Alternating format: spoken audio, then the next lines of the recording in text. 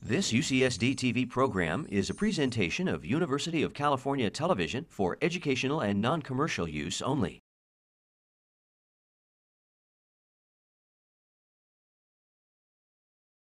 Hello and welcome. I'm Peter Smith, Professor of Political Science here at the University of California, San Diego. I have also served as the Director of the Center for Iberian and Latin American Studies and for several years hosted Hemiscope for UCSD TV. Tonight, it's my pleasure to be your host for UCSD at 50, a year-long series celebrating UC San Diego's 50th anniversary.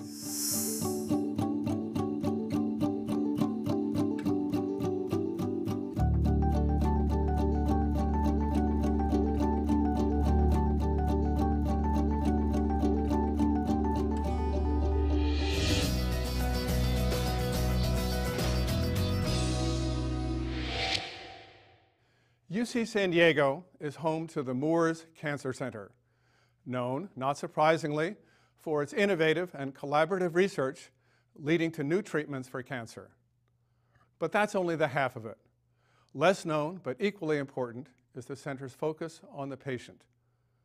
Nobody wants to get sick, of course, and we wish the best of health to you all.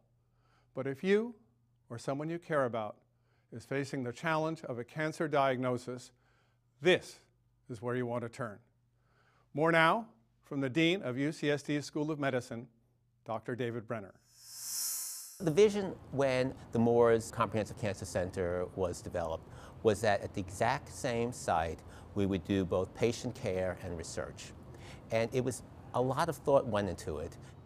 Patients and the scientists mix in the lunchroom, in, in the places for rest and relaxation. So all of us on the science side see our patients from small children to the elderly at various stages of disease. And I think it makes us aware we're not doing this for fame and fortune, we're doing this for our patients. Because usually you think of a cancer center, everybody must be morose and down all the time. I think there's generally a positive attitude. Rather than being discouraged by the patients we see, we're full of conviction about making things better with them as part of the solution, so we're working together. I will see patient groups meeting in different common rooms to discuss nutrition, to discuss yoga, to discuss um, alternative therapies, uh, to, to, give, to give group support. It just makes it such a wonderful place. My God, is that a great place? Everybody there is friendly. Everybody there treats me like a human being. I walk into that place, I am the most important person coming into that building that there is.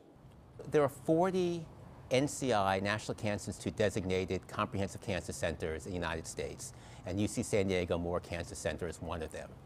And our mission is to bring research advances to patients. The vast majority of our patients come here because they know that we have therapies on offer that they can't find anyplace else. We've been able to attract amazing people in um, surgical oncology and medical oncology to come to UC San Diego to practice here, to teach the next generation of physicians, and to conduct their research. Seeing how colleagues work together here is very gratifying and that people are willing to share their ideas and not hold their cards so close to their chest and say, oh, I just, I found that in my system too. Let's work together on that. I think that's a real strength. In a collaborative institution like Moores, there will be everything from the geneticist the family counselor to the medical oncologist to the surgeon. They all work together to come up with a plan for the patient and they make sure that when new drugs become available, they are available to deliver to the patient. Dennis Carson is one of the few people who actually developed a cure for cancer. He identified the underlying molecular pathophysiology in hairy cell leukemia and, and um, identified a drug to cure it. And so now there is a disease that used to be uniformly fatal that now can be cured. San Diego is one of the centers of the biotechnology enterprise, and the Moores Cancer Center is one of the main testing arenas for both new diagnostics and new therapeutics. And I think it's been very successful, and it really shows what a university can bring to San Diego. One of our most recent greatest success at Moores Cancer Center has been to develop um, a new therapy for myelofibrosis. Myelofibrosis is a disease in which the bone marrow stops working. It's scarred down and no longer makes red blood cells. I could not walk a half a, half a block I could, I could barely make it up one flight of stairs. I slept most of the time. It was demoralizing, depressing, and oh my God. Uh, I don't want that life. Uh, Dr. Catriona Jamieson worked with a uh, local biotechnology company uh, to bring a drug to the clinic in a year. We knew what the target of the disease was. It had just been cloned. Uh, the DNA had been determined. They were working in a related field. So the clinical trial began within one year of lead compound identification because of this very close collaboration between us at the Cancer Center here and then this drug company up the street, small company. The good news story is the patients have responded really very well to this drug. These patients that were suffering terribly by um, enlarged spleens, by anemia, by fatigue, were treated, and it was miraculous. Their spleens shrunk, their energy increased, their anemia improved. It was one of the most remarkable reversals of a chronic um, disease I'd ever seen. I've gained 25 pounds back. My muscle mass is better. I don't worry about falling apart. I do have to schedule and shepherd my energy, but before I had no energy to shepherd. So all these different institutions came together to make a new um, therapy for a disease that previously had no treatment. And I think it represents um, UC San Diego and the Moores Cancer Center at its best, to bring together these diverse interests to improve patient care. In a year, I'm on it, the drug works, you know, I'm zipping around, I'm vital, and I'm involved.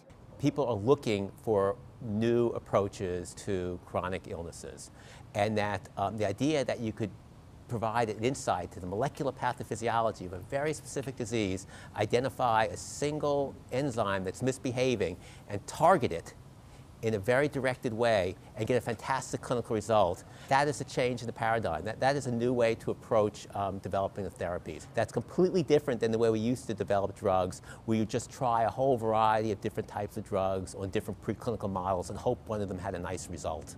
When with these kinds of targeted therapies, patients tolerate it better, they can stay on it for long periods of time, and even if the cancer is not cured, it can be suppressed and patient can have a very high quality of life. So these patients become almost, they're, well, they're basically friends. So you don't want to let them down. You get to know them very well. So you want to make sure that if their disease does progress, you catch it before it's beyond the point of no return. You understand your mortality when you are forced to look at it and get close to the edge and you've had enough. But the bottom line is for you to be successful, you have to make the most out of every day you have you have to have an attitude that says, I'm a survivor and I am going to keep surviving. And you have to have the desire for your quality of life. The idea that you have a multidisciplinary team using everything available to improve patient care, all in one site, all um, highly integrated, is the future of medicine. Yeah, my aim in coming here uh, was to identify the Moores Cancer Center as a place where a cure for cancer was found. Not all cancers, but at least one kind of cancer. And you hear about some of the trials that Catriona Jamieson are doing, and we have some more coming along. I think we uh, may get there. I think the future is really good. I think I think this is the you know the golden era of, um, cancer therapy and, and um, cancer research.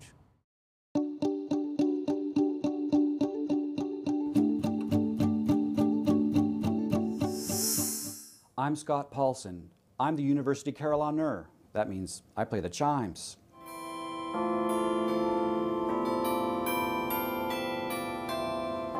The way these chimes work, you can see that there's some metal rods, they're specially tuned to sound as if they're a cast bell, and they really sound spectacular.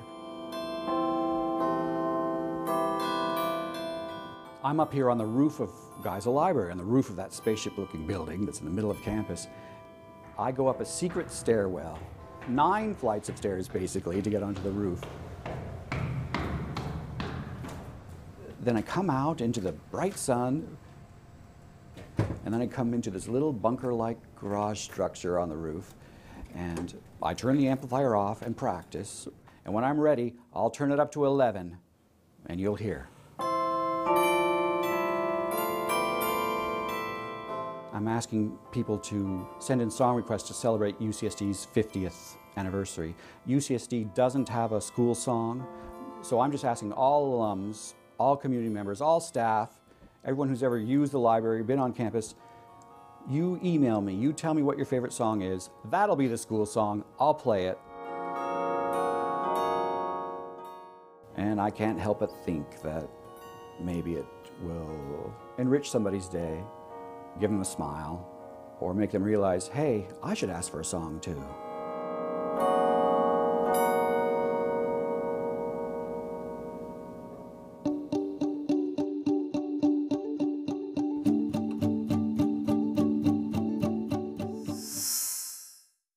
Our world faces ever daunting agricultural challenges for which UC San Diego is poised to find solutions. Steve Kay, Dean of Biological Sciences, shares the vision of what plant biology at UC San Diego means for our world. Three of the greatest challenges facing us today are the production of food, a sustainable production of energy, and protecting our natural resources from further environmental damage. There is one field that holds many of the solutions to that type of challenge, the application of plant biotechnologies that are being developed right here at UC San Diego. My own laboratory at UC San Diego studies biological clocks, a particular type of biological clock called a circadian rhythm. Plants have evolved very powerful biological rhythms to take advantage of day-night cycles. And if we want to grow plants that have bigger fruits, larger seeds, higher yields, then understanding the clock is an entryway to manipulating those processes from the point of view of agriculture. So in our laboratory, we're employing advanced robotics, for example, where we test the function of almost all known plant genes so that we're going to ultimately know what every plant gene does in every cell of a plant. One example is we've begun to identify very specific proteins in the plant that are responsible for these growth patterns. So we have now in our hands genes that are responsible for directing plant growth. So we're taking a new view of the plant where we're no longer looking at one or two genes. We're essentially now looking at this globally. We're looking at the actions of genes as if they're a symphony, and we're trying to move the entire orchestra to play a tune that's going to be beneficial to us in terms of manipulating plants for a better agriculture. And move those fundamental discoveries towards real crops in real fields that are feeding real people. While understanding biological clocks will provide tools to create those real improvements, agriculture faces many challenges posed by changes in the environment. Julian Schroeder explains how his lab addresses these emerging problems. It has been estimated that on a global scale, agricultural output may be only about 21% of what it optimally could be.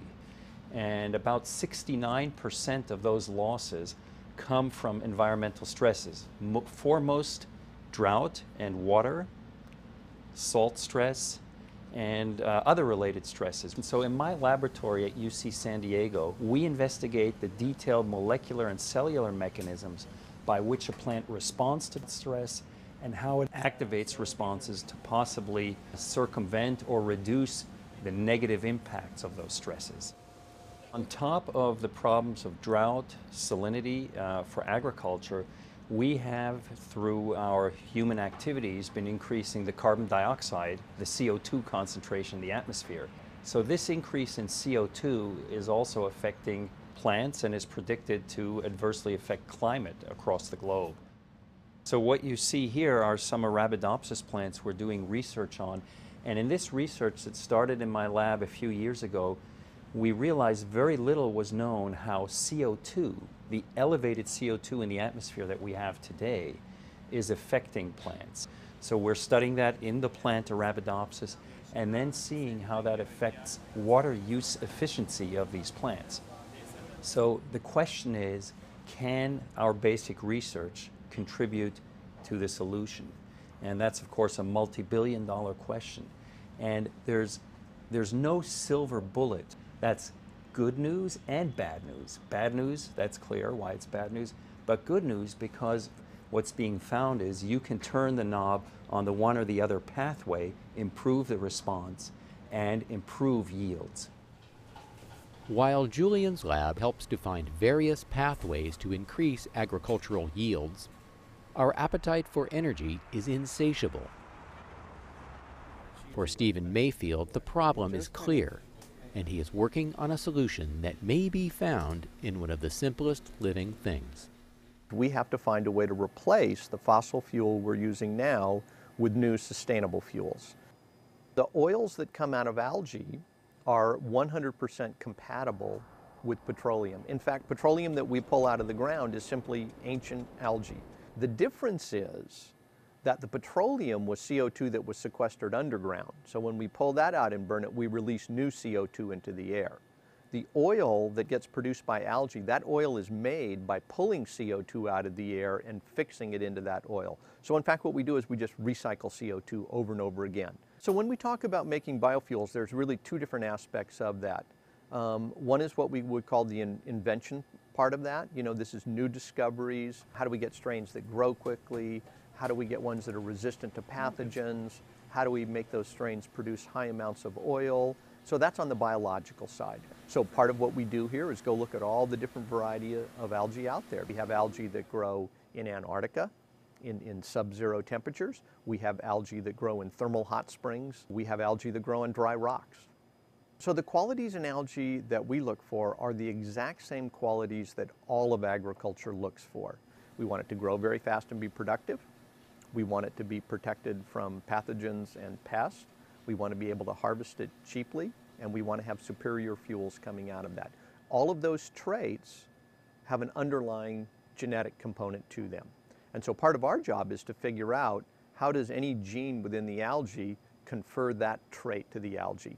So some of those genes, just to give you an example, some of them might be enzymes in the pathway in lipid biosynthesis. So it's pretty easy to imagine, well, if we change those around a little bit, we might be able to change the product profile. So that's a challenge. And it's a challenge because it's not something that we've ever done before. And that's much of what we do here at the University of California, San Diego. We're on the invention side. It's easy for us to see the challenges that are facing our Earth. So how are we contributing to that at UC San Diego? What we've done here is to form something called the Photosynthetic Biology Institute. The Photosynthetic Biology Institute is a vision in which we want to enable our plant scientists so that they can have direct access to producing solutions to some of the biggest challenges facing our global population today.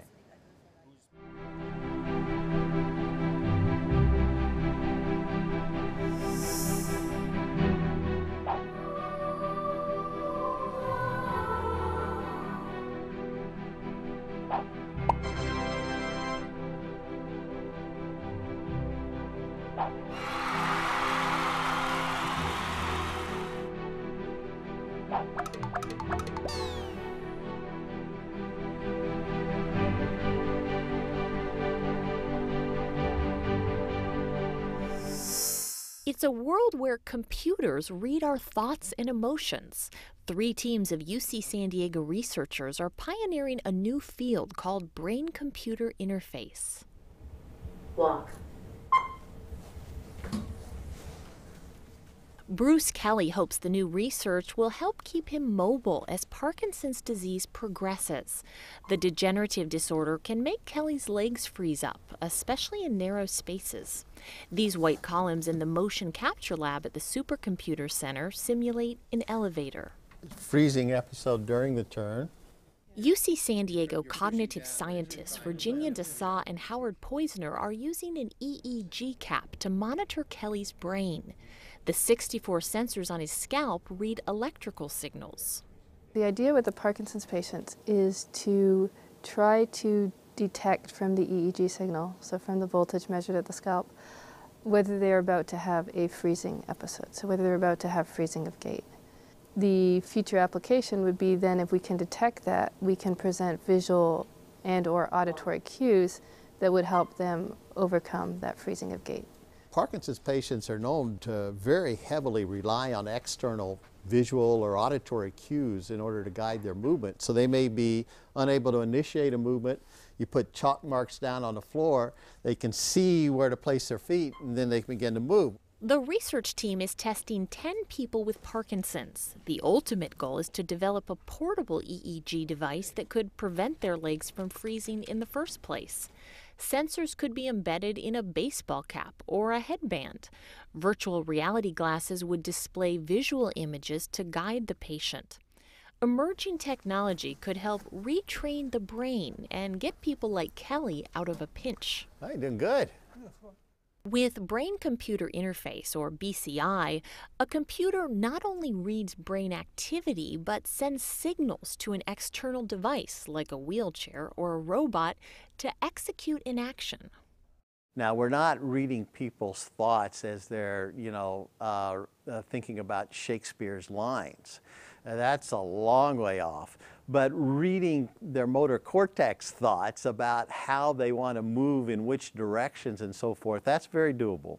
Upstairs from Poizner's lab, Tzyy-Ping Jung is developing ultra portable BCI hardware from headbands to helmets at the Swartz Center for Computational Neuroscience. So basically, we put 16 sensors on the subject head. And as you can see, this setup takes about one minute. No gel or wires are needed for this prototype. 16 spring loaded electrodes read the user's brain waves and send those signals to a Bluetooth enabled phone or tablet. Jung says wireless headsets could help the general population with everyday activities like driving. So, if a device can detect and track the cognitive states, in this case, for instance, drowsiness of the drivers, and then decode the signals, trying to give the feedback or the warning signals to the subject when they fall into sleep on the wheel. And then we can save lives. So you as a subject, you need to look at numbers one at a time. Jung also helped develop a BCI application for people who can't physically dial the phone. A researcher demonstrates with a headband containing four electrodes. He can call a phone number simply by looking at numbers on the screen one at a time. His brain signals are then sent to the cell phone for an automatic dial.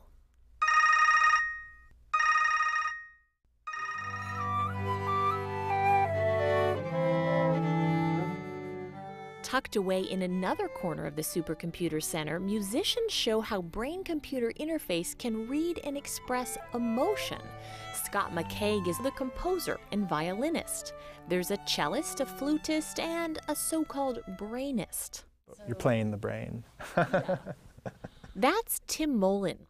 The cognitive science graduate student focuses on one of five distinct emotional states, feeling it fully inside his body.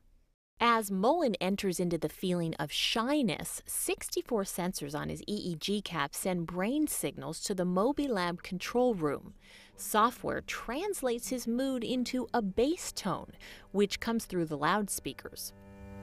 This feeling is of one who is uncertain, quiet, shy, and sensitive. The musicians then play the piece that corresponds with this ground tone.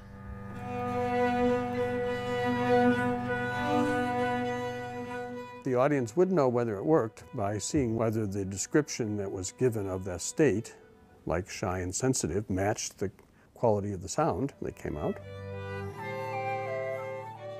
In this rehearsal, it worked proving that a computer can not only decode basic thoughts, but primal emotions. And the brainist could communicate his feelings through music without even lifting a hand.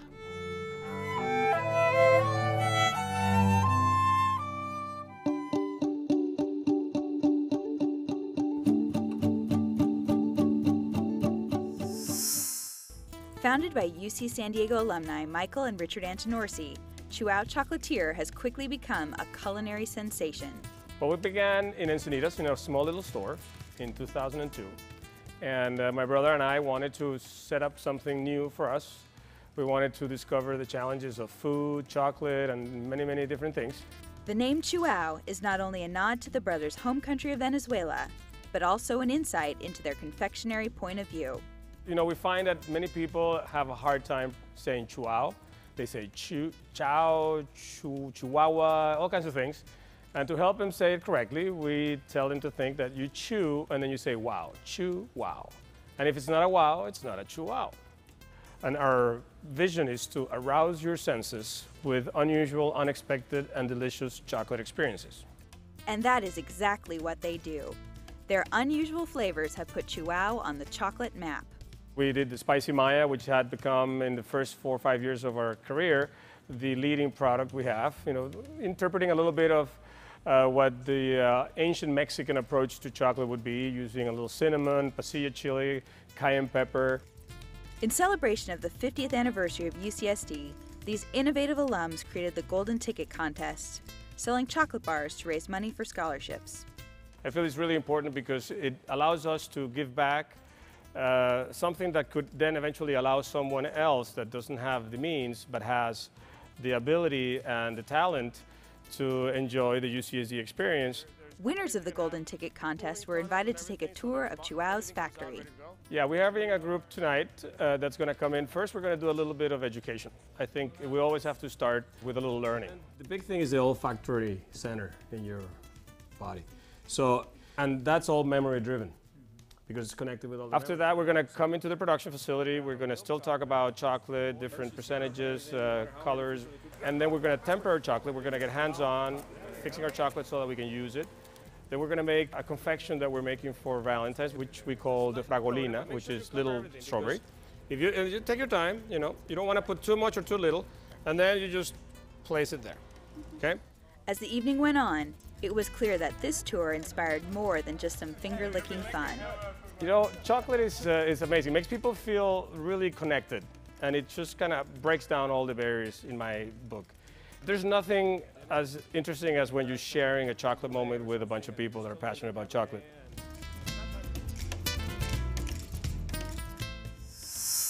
You can buy these special 50th anniversary bars at all of the major vendors here on campus or go online at alumni.ucsd.edu slash golden ticket.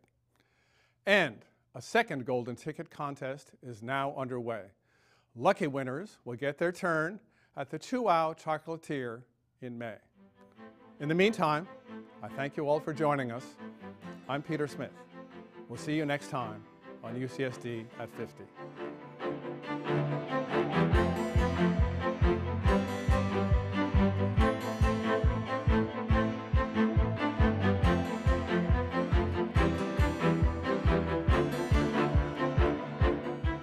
Would I suggest to um, the Vice Chancellor for Health Sciences at uh, UC San Diego in 50 years?